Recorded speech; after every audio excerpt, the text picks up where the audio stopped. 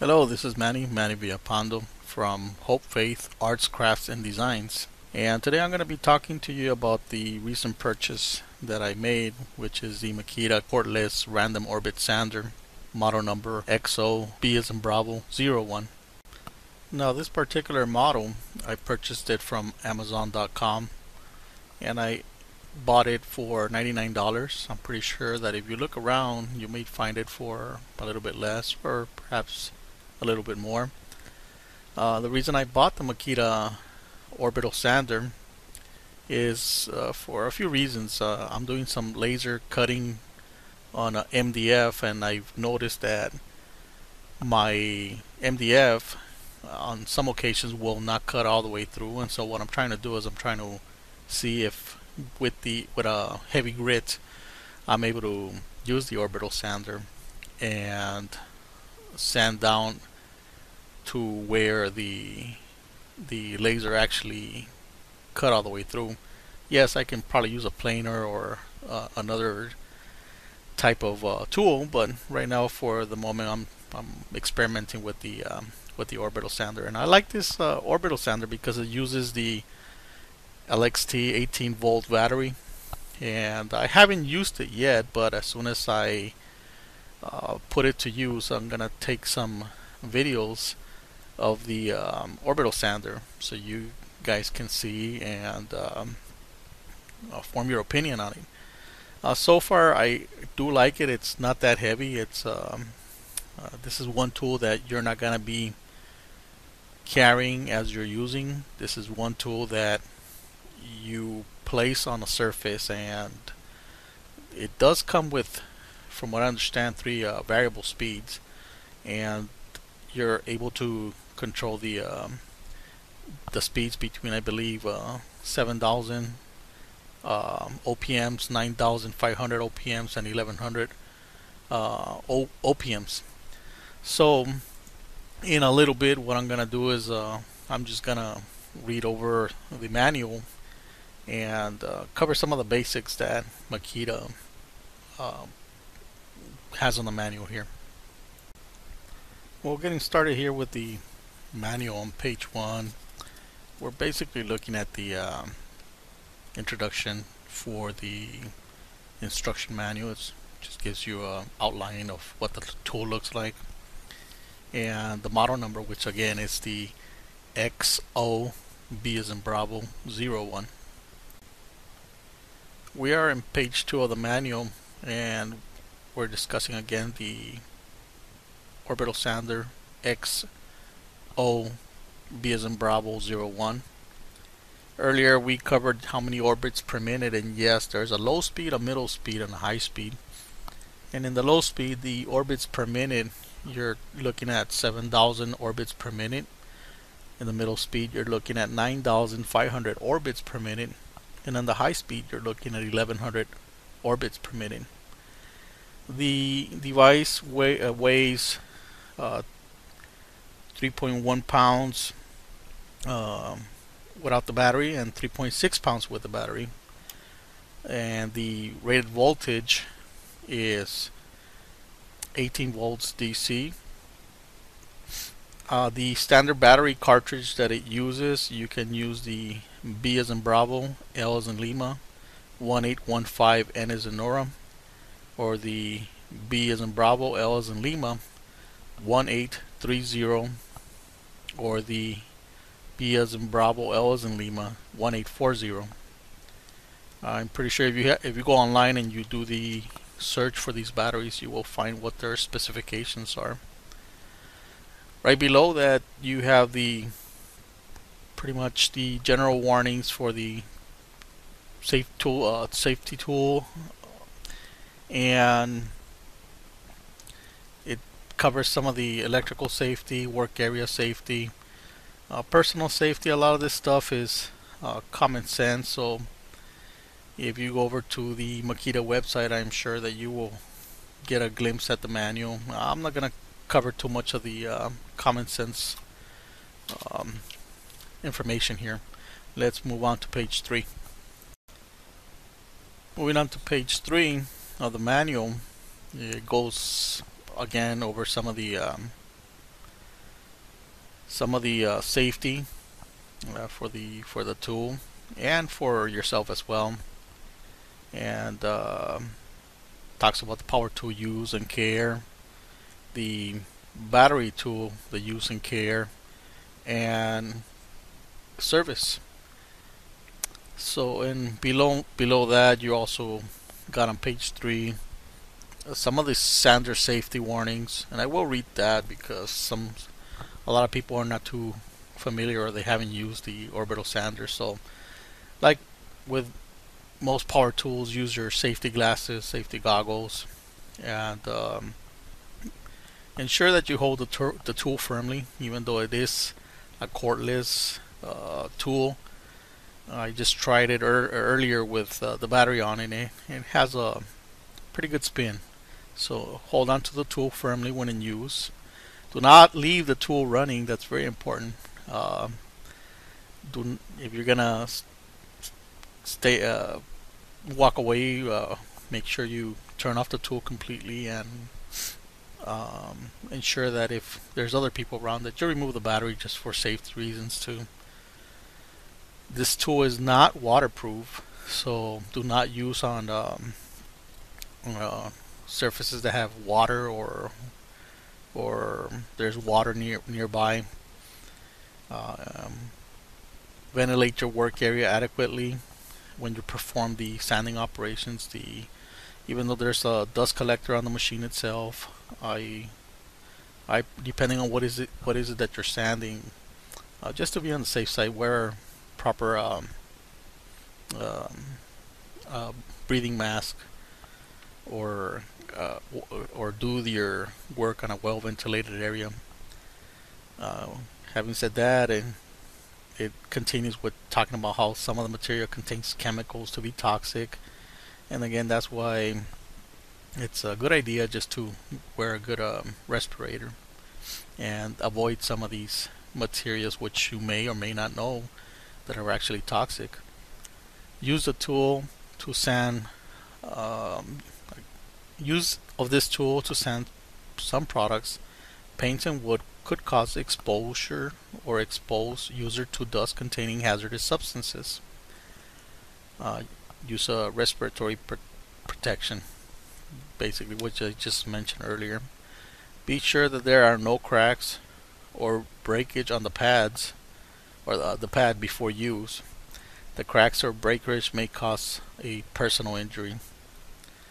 Um, I'm pretty sure that it's referring over to the uh, to the base of the orbital orbital tool.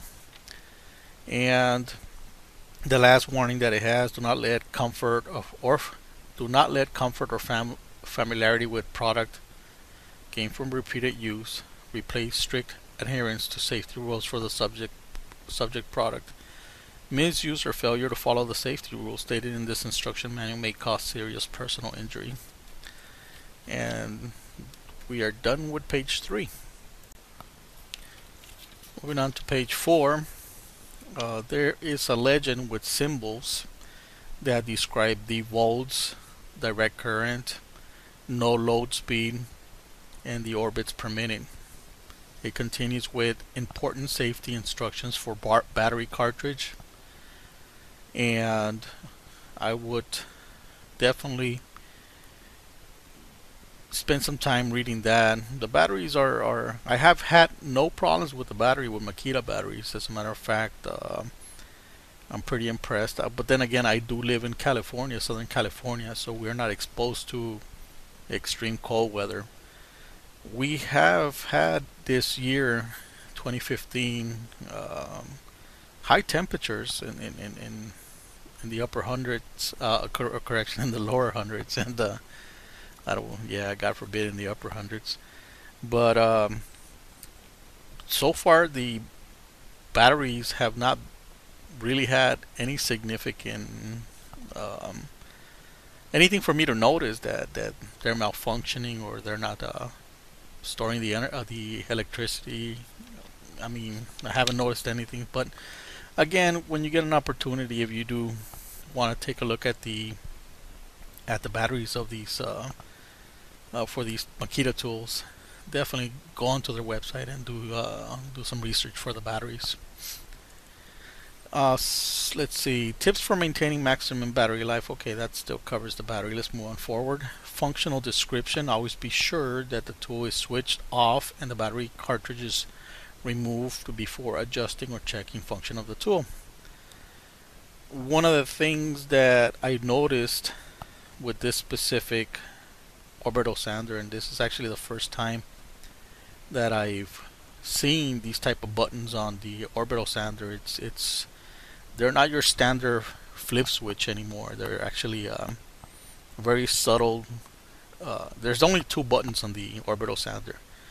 One of them's to turn it off, and the other one, the other button controls actually the three speeds. Press one, you get the low. Press again, you get the medium, and you press again, you get the high. So the I'm not honest uh, honestly I'm not sure what would happen if and when you actually are using the tool and for whatever reason the, the battery may come off or maybe the battery runs low. Again this is a new product that I'm I'm testing right now. So uh, I would seriously doubt that if the battery were to uh, be depleted while in use that if I were to exchange the battery that the tool would actually stay on in the on position or in the on mode. I if it does then that that would be a, a, concern for me because of the fact that in my opinion it shouldn't do that. It should be that the minute you actually remove the battery that the tool actually will go by default to the off position. But again I haven't I haven't had the uh, experience with the tool so there is a caution over here. It reads always switch off the tool before installing or removing off the battery. Hold the tool on the battery cartridge firm firmly when installing or removing battery cartridge. Failure to hold the tool and the battery cartridge firmly may cause them to slip off your hands and result in damage to either the tool or the battery or and, and or personal injury to yourself. To remove the battery cartridge, slide it from the tool while sliding the button on the front of the cartridge. Uh, this is a uh, pretty self-explanatory if you are familiar with the batteries and the Makita tools. It's actually just normal standard way of sliding on and off a battery. And having said that, I'm going to move on to page 5. Page 5 it continues with another caution. Let's see what it's what it reads here. Always install the battery cartridge fully until the red indicator cannot be seen. If not, it may accidentally fall out of the tool, causing injury to you or someone around you. Uh, so it basically continues with the uh, speaking about the installation of the battery and the removal. Let's see, beneath that we go into the battery protection system and this is interesting star marking. Lithium ion batteries with a star marking are equipped with a protection system. This system automatically cuts off the tool the power to the tool to extend battery life. The tool will automatically stop during operation if the tool and or battery are placed under one of the following conditions. Overloading. The tool is operated in a manner that causes it to draw an abnormally high current. In this situation stop the application cost the tool stop the application that caused the tool to become overloaded then press the start speed adjusting button again to restart. If this tool if the tool does not start the battery is overheated. In this situation let the battery cool before pressing the start speed adjusting button. Interesting. Low battery voltage. The remaining battery capacity is too low and the tool will not operate in this situation remove and recharge the battery. Now this I wasn't aware. I wasn't aware that the um, some of the batteries uh, contain this star marking. I'm gonna have to take a a glance over at my batteries. Let's see. Moving on forward. Excuse me. Switch action and speed adjustment. Uh, again, uh, there was there's two buttons on the tool. One button's to stop the stop button, and the other button is the start speed adjusting button. Um, to start the tool, press the start speed adjusting button. The tool starts with high speed mode. Interesting. I had set it backwards earlier. So the tool starts with the high speed mode. Each time you press the start speed adjusting button, the speed mode changes in an, in an order of high speed, middle speed, and low speed. to stop the tool, press the stop button. Refer to the table for the relationship between the speed mode and the kind of work. Again, earlier in the, um, in the video, we talked about the the speed modes being high, middle, and low. High being the 1100 rota uh, rotations per minute, middle being 9500 rotations per minute, and the low being 7000, the 7000 rotations per minute. It's saying here that the high is for regular sanding, the middle is for finish sanding, and the low is for polishing. There's a note below that on below the table that says the table shows standard applications. They may differ under certain conditions, and that's understandably. Assembly. It moves on to the assembly. Caution. Always be sure that the tool is switched off and the battery cartridge is removed before carrying out any work on the tool. and it shows a picture of the pad and the uh, abrasive disc. To install the abrasive disc, first remove all the dirt or foreign matter from the pad. Then attach the abrasive disc to the pad. Be careful to align the holes in the abrasive disc with those in the pad. And earlier I was trying this because this is a this this was very interesting. The uh, pads actually do come with uh, some form of Velcro, and uh, when you actually there's a little trick on aligning the pad and um, if you don't do it correctly the holes will not align to the holes on the on the actual pad of the orbiter of the sander and when you cover these holes you're actually covering covering the holes that will collect the uh, dust the dust into the into the uh, dust bag so you want to make sure that these that the that the that the abrasive disc is not covering the holes on the pad. Underneath, we're moving on forward to the installation of the dust bag, and it's an optional accessory. Interesting because you do get a dust collection, um, a dust collector on the orbital orbital machine, but according to this, there is an optional accessory which is a dust bag. And beneath that picture it says install the dust bag on the tool with its mouth directing downwards. Let's see what we have on page 6. On page 6 it, it continues with the with the dust bag and it talks about how to empty the dust bag. Uh, and then interesting interestingly enough the dust bag there's an optional accessory that one can purchase. It's called the Makita paper filter bag. And this filter bag can actually sit inside the um, the um, the dust bag. And it looks pretty interesting because according to the according to the pictures here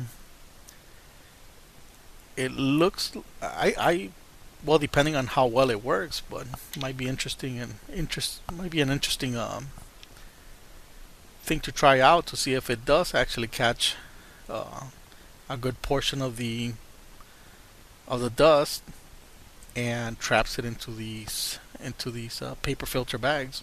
I'm gonna have to look into that.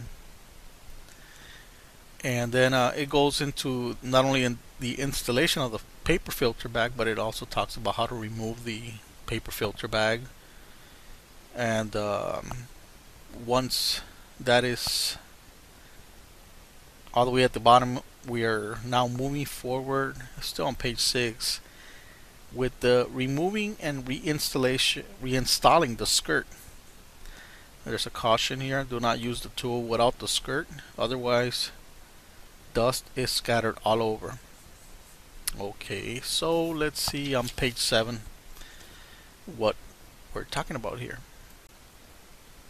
So interestingly enough, I hadn't I had I wasn't even aware about this, but the skirt, if you notice on page 7, if you're actually following along over here, you can see that right above the pad there's uh, there's this part that goes around the actual pad and the sander itself and it's it's called a skirt and it looks like it's held with a with one screw.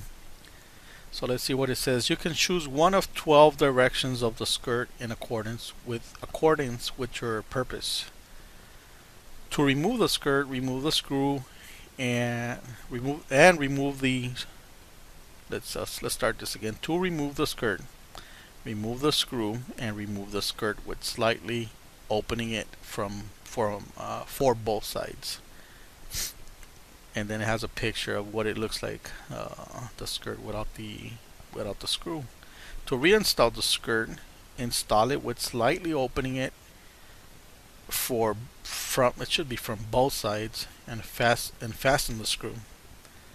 So this manual does appear to have a few typographical errors here.